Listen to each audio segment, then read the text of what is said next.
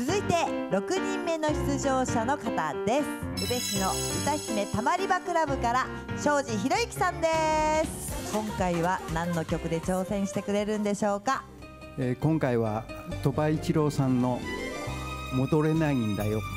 これであの挑戦させていただこうと思います。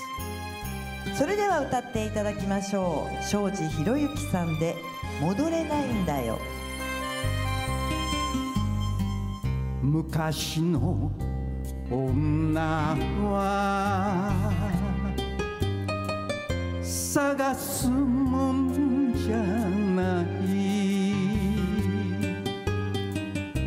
会えば虚しくなるだ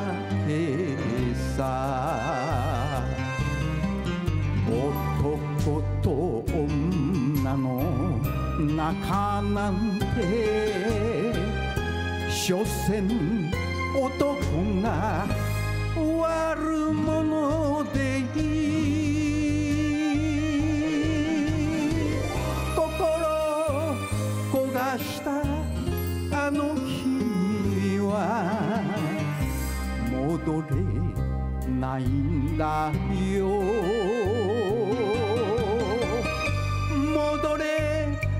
ないんだよ。今さら草むす墓に行き両手合わせて詫びてみた。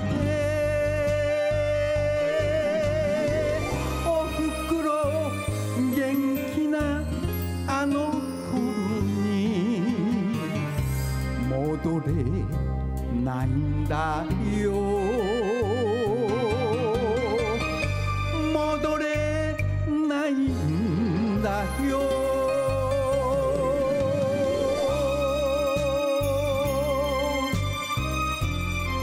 ファイブダムの得点は何点でしょうか？加算されて86.177点でございました。ちょっと上がりすぎたかもわかりません、うん、いつもの調子ではなかった。かと、まずは一般審査員の得点は何点でしょうか？16.3点そして特別審査員4名の評価が加算されます。さあ合計得点は？審査員の合計得点が85.8点合計得点が171.977点ということで惜しくも到達しませんでした。残念でございました。ね。いかがでした？初めてステージで歌ったお気分は。